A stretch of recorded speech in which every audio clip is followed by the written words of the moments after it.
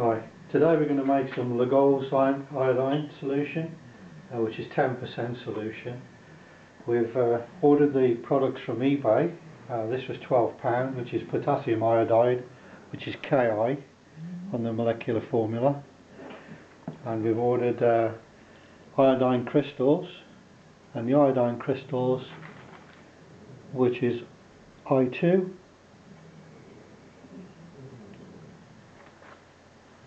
and we paid was it 13 13 pound for the potassium iodide including postage. It comes in a nice seal container.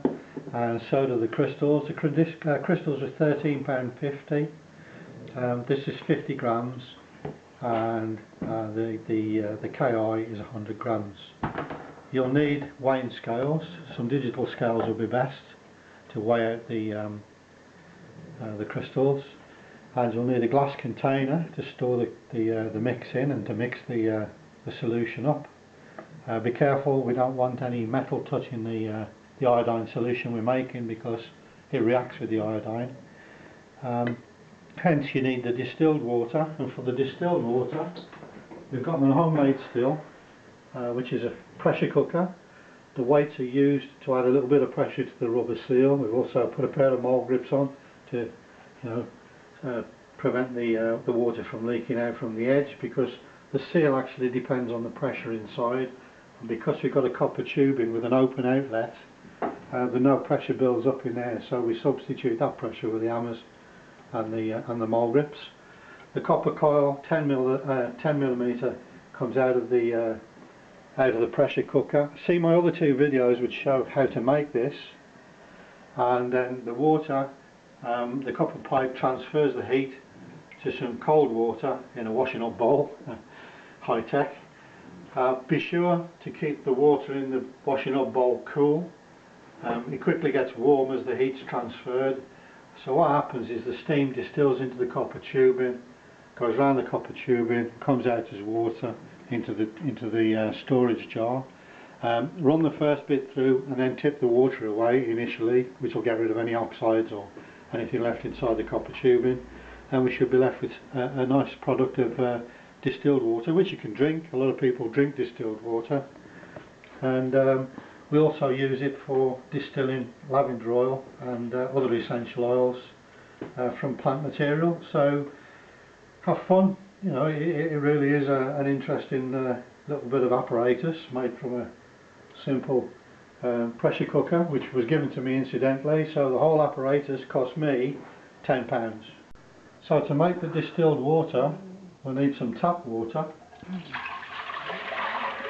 And we add that to our pressure cooker. I need to put some weights on here as well to make a good seal.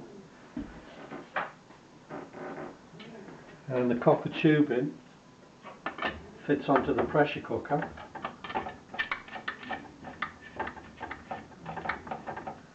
Bolts in there you'll need to nip that up slightly with a spanner. And the copper coil sits in a bowl filled with cold water and it's important to keep this water reasonably cool. So use a jug take some of the hot water out because as the as the process takes place the heat is transferred from the copper pipe to the water so it warms the water up and we need to keep this cool to condense the steam back into distilled water which we'll collect in our jug to make Lugol's iodine.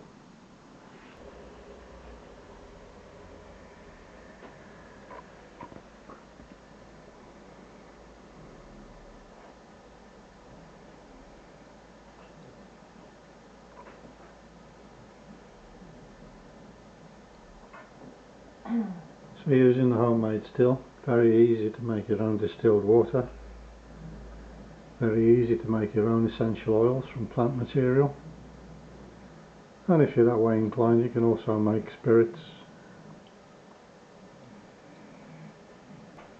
The reason you need to use distilled water is because tap water contains metals and metals react with the iodine solution.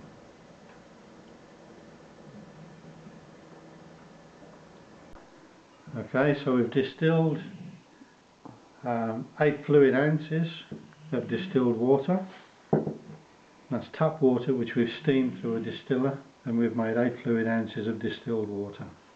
Now you need to use distilled water because tap water contains metals and iodine, and iodine uh, reacts with metals so again we need to avoid that.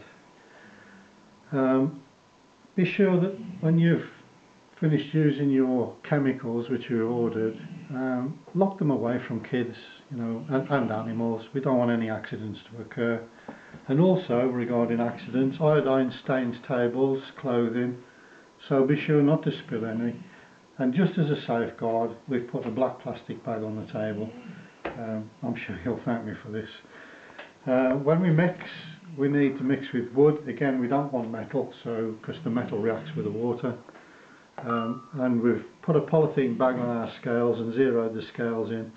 So now we need to measure out the uh, the solution and we're making a 10% Lugol solution 8 fluid ounces. Bag on the on the scales on the kitchen scales we've zeroed them in and now we need to measure out the potassium iodide or K, KI. And uh, we need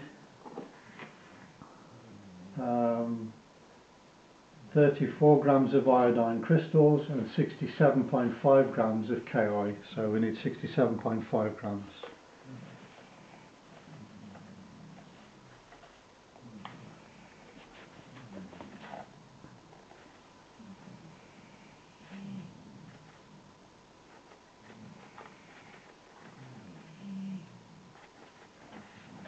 Come to have a look, Spud.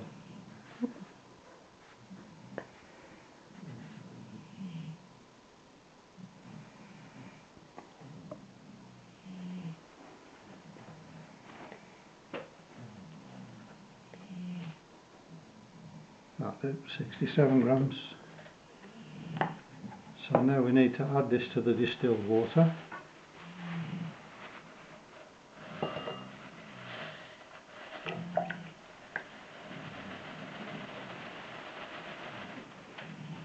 And keep stirring this and dissolve it completely.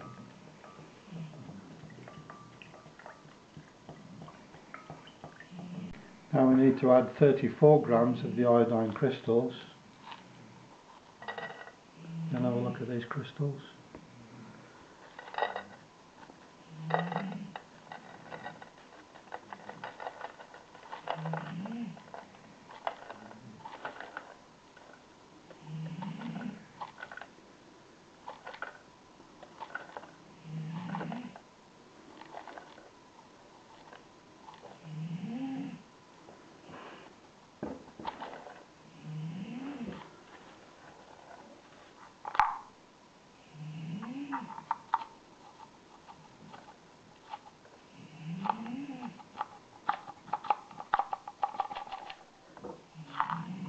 Now 34 grams.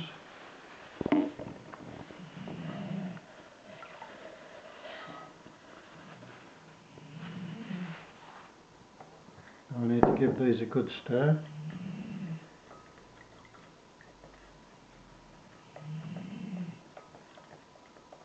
Once all this is dissolved, you now have your 10% Lugol's iodine solution. So this will need a really good stir just to make sure that all of the crystals have dissolved. And then it will need to be left standing overnight. And then you'll need to stir it again.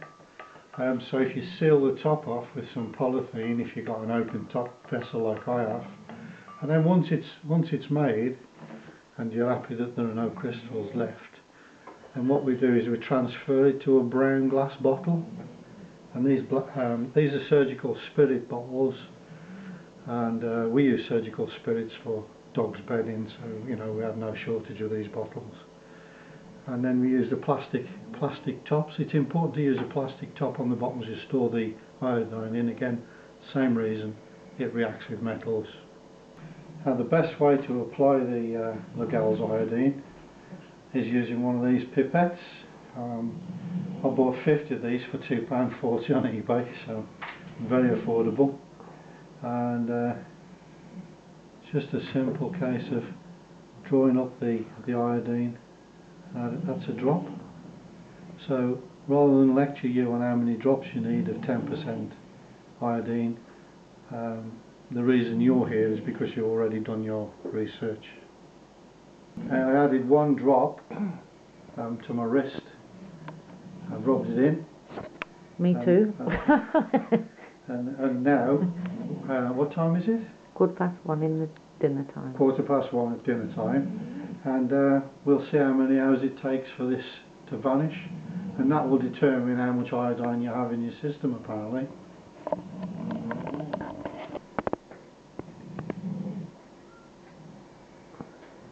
So a good test for your iodine level is to apply one drop and then rub that drop into your wrist. And then time. So uh, make a note of the time that you've applied this and this is quarter past one in the afternoon and see how many hours it takes for the uh, for the iodine to be absorbed into your skin. And this will give us a good indication of whether you're iodine deficient or whether your, your iodine levels are enough so the longer the iodine takes to dissolve into your skin you know the uh, the better it is that you you know the or the, the least of a problem your iodine deficiency is. It's been uh, three hours since we applied the uh, Lugol's iodine and on this this uh, wrist, my right wrist, it was applied um, second. In other words, this was the first this was the first batch of iodine and interestingly enough I have a series of little warts under my skin and the iodine has accumulated in the warts which is really interesting. And on the on this wrist, which was like I say, it was applied after this wrist, um, it's virtually disappeared. So why is the iodine disappearing quicker on my right wrist than it is on my left wrist? One drop on each wrist. I've been taking the iodine now for uh, five days, and uh, actually I meant to put a couple of drops on my wrist, and I think I overdid it a little bit um, but we've rubbed it in and now we'll time it.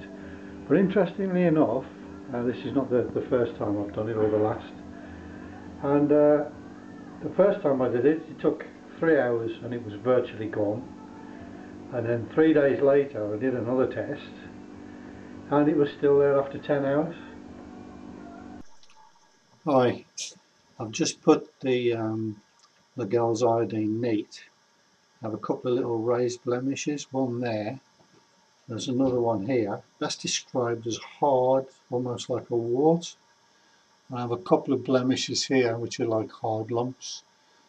And um, putting the, uh, the Lugol's on, it, it actually stings on these um, on these blemishes, yet if I put it on my hand or anywhere on where the skin is normal, it doesn't hurt whatsoever which means that the Lugol's has been absorbed directly into these uh, anomalies.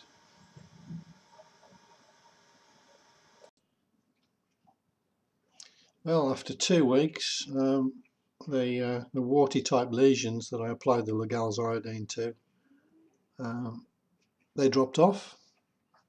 I think I used four drops in all. Um, if you're going to go near the eyes, be very, very, very careful not to get the iodine in the eye. Um, I applied it to the end of my finger and just gently rubbed it into the into the lesions.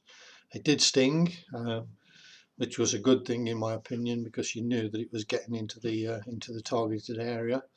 Uh, it has diminished the other two lumps on my cheek. Um, we'll go back and try this again because I've read that you needed to apply it uh, two times a day and I applied it once. Um, but it did cause the uh, the the, um, the, lumps to uh, uh, crust over, and then the, the skin flaked off, and and and has greatly reduced the uh, the appearance of these two lumps as well. So I'm hoping that these two will go. But all in all, not a bad result. So I've reapplied the drops to these two lumps. I've also found another one there. Got a few blemishes on my back and a couple on my chest. Uh, we'll see what happens. Hope you enjoyed the, the video making the Lugol's iodine and the results. Um, look forward to reading your comments. Please check out my other videos. Have a great day.